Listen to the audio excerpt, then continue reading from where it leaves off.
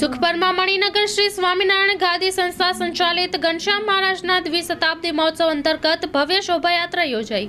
આજે સુખપર કચ્છની અંદર મણિનગર શ્રી સ્વામિનારાયણ ગાદી સંસ્થાન સંચાલિત શ્રી સ્વામિનારાયણ સુખપરના શ્રી ઘનશ્યામ મહારાજ દશાબ્દી મહોત્સવે મહોત્સવના બીજા દિવસે ભવ્ય નગરયાત્રાનો સુખપરના રાજમાર્ગ ઉપર રેલી નગરયાત્રાનું સ્વરૂપે વિશ્વ શાંતિ રેલી યોજાઈ હતી અને આ પ્રસંગે સુપ્રસિદ્ધ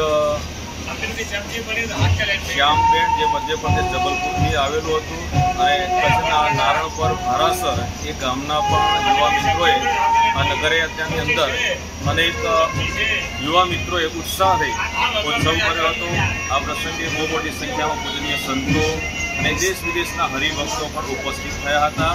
અને શ્રી સ્વામિનારાયણ ગાંધીના આચાર્ય જ્ઞાન મહોદધિ પરમ પૂજ્ય આચાર્ય શ્રી જીતેન્દ્રજી પ્રિયદાસજી સ્વામીજી મહારાજ હંસાકૃતિ રથ ઉપર વાહન ઉપર શ્રી ઘનશ્યામ મહારાજના સાનિધ્યમાં બિરાજમાન હતા અને મોટેરા સંતો પણ તેમના સંપર્કમાં બેઠા હતા. અને આ રીતની ઉત્સાહપૂર્વકની એ ભવ્ય નગરયાત્રા સુખપુરમાં યોજાઈ હતી. સ્વામીજી, વાત કે કેટલા દિવસનું આ આયોજન છે, ભવ્ય આયોજન છે અને શું છે યજમાનમાંનું આ મહોત્સવ ત્રણ દિવસનો ઉજવવામાં આવશે. એટલે કે આ ચાલુ છે. આજે બીજો દિવસ છે. આવતીકાલે ઘનશ્યામ મહારાજનો દશાબ્દી પાટોત્સવ પરમ પૂજ્ય આચાર્ય સ્વામીજી મહારાજ કરશે. સોમસોમના વિધિથી અંકુટ ભગવાનને ધરવામાં આવશે.